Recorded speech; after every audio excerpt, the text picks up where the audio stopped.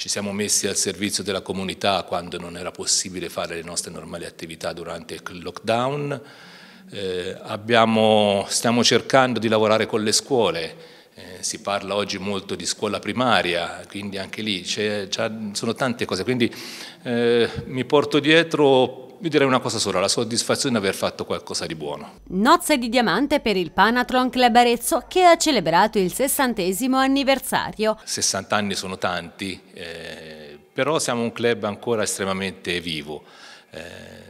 ci hanno aiutato tanto quelli che sono venuti, sono passati prima di noi e che hanno seminato molto bene. Noi continuiamo sulla nostra strada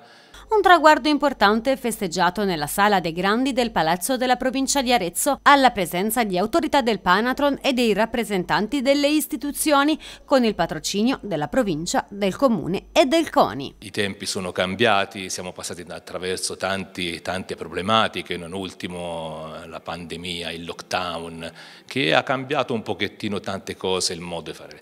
Eh, noi continuiamo nel nostro piccolo a renderci utile, cerchiamo di, di renderci utile alla, al movimento sportivo della città, un movimento a 360 gradi, occupandoci sia dello sport di eccellenza ma anche dello sport di base, eh, con un occhio, un occhio, di riguardo puntato verso i giovani, verso i bambini, eh, perché è da lì che parte tutto, quindi tra saper trasferire, aiutare a tra saper trasferire dei concetti sani del, del fair play, del rispetto delle regole, del rispetto degli altri, eh, della lotta al bullismo, eh, parliamo di integrazione, di inclusione, quindi sono tutti quei problemi che oggi eh, giocano un ruolo importante perché sono estremamente formativi per, per i nostri ragazzi.